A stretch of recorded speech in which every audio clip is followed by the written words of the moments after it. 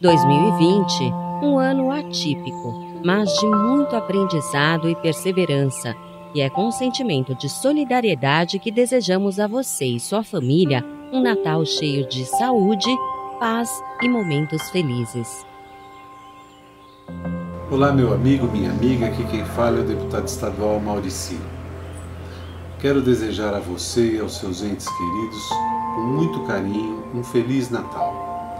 Espero que os últimos dias deste ano, apesar de todos os lamentos, possam proporcionar a cada um de nós momentos de muita paz, muito amor e muita felicidade junto àqueles a quem gostamos.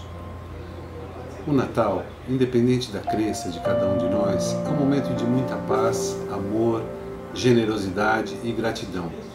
Que esses sentimentos embalem nossas últimas noites do ano e nos façam abrir 2021 sorrindo. Um Feliz Natal a todos e a todas.